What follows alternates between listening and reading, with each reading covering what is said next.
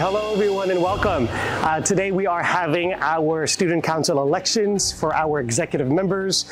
We have three candidates for our vice presidential uh, position and three candidates for our presidential uh, position.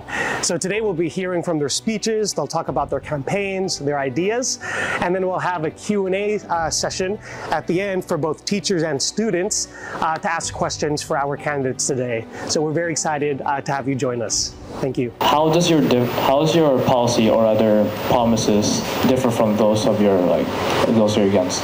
On as no matter what we advocate for, we need to know exactly how those advocations are actually going to turn into real change in the school. All right. I have a question for all of you.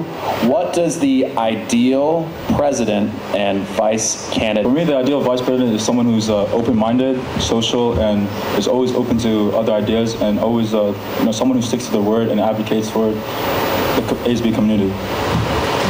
So what I think is that, uh, as Ira said, being open-minded and listening to each other's ideas and being able to bounce off each other each other's ideas and kind of making a conclusion idea.